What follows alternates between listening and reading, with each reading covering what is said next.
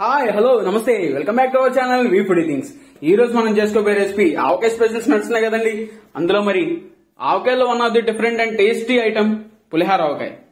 మీరు కనుక మా channel first time visit చేస్తున్నట్టయితే please like share and subscribe let's go in the video పులిహార ఆవకాయలకి కావాల్సిన పదార్థాలు. మామిడికాయలు. మామిడికాయలు మనం చిన్న చిన్న ముక్కలుగా తరుక్కోవాలి. ఈ మామిడికాయ ముక్కల్ని పులిహార ఒకలోకి కొలత ఎలా తీసుకుంటాం అంటే సేరు కింద తీసుకుంటాం. సేర్ అంటే కేజీ లెక్క. ఇప్పుడు మేము రెండు కేజీలు లెక్కగా చెప్తున్నాను. ఆవు పిండి అర కేజీ.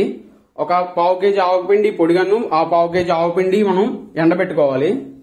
పావు కేజీ కారం పావు కేజీ ఉప్పు.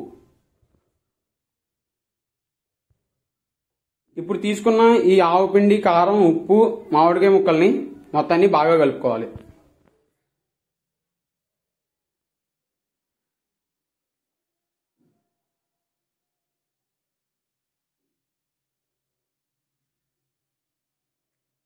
పౌడర్ మిక్సర్ అంతా కొంచెం కలుస్తూ ఉన్నాగా అందులోకి మనం ఆయిల్ యాడ్ చేసుకుని బాగా మొత్తం కలిసేలా కలుపుకోవాలి.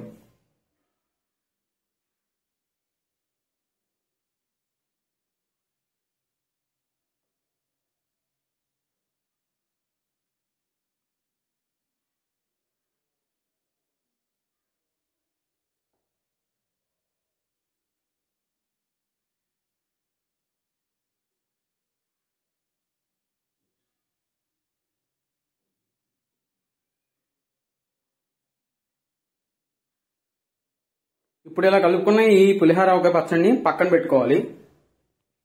అంటే ఒక సపరేట్ బౌల్ తీసుకుని దానిలో స్టోర్ చేసుకోవాలి.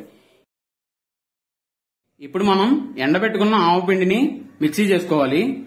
ఇందాక చెప్పడం మర్చిపోయాను. ఈ ఆవు పిండిని మనం ఓరువెచ్చని నీళ్ళలో కలుపుకుని మొద్ద చేసుకుని దాన్ని ఎండబెట్టుకోవాలి. ఇప్పుడు దాన్ని చాలా స్మూత్గా పౌడర్ చేసుకుని దాన్ని మనం ముందుగా కలిపి పెట్టుకున్న పులిహార ఆవకాయలోకి కలుపుకోవాలి.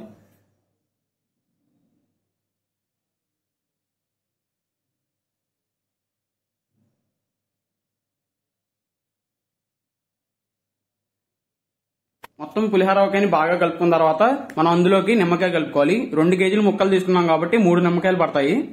ఆ మూడు నిమ్మకాయలని రసం తీసుకుని పులిహార ఆవకాయలోకి కలుపుకుని పక్కకు పెట్టుకోవాలి.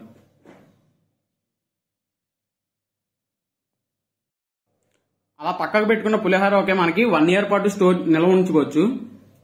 ఇప్పుడు మనకి మీరు ఎంత కావాలో అంత తీసుకుని దానిలోకి పోపు వేయించుకుని కలుపుకుని మీరు టేస్ట్ చేయొచ్చు. మీరు మస్ట్ షుడ్గా ఈ ఆవకాయని ట్రై చేయండి. మీ అందరికీ చాలా నచ్చుతుంది. మీరు కనుక మేము ప్రీవియస్గా చేసిన నూ ఒక వీడియోని చెక్ చేయకపోతే ఎండ్ స్క్రీన్లో ఉంది. Let's watch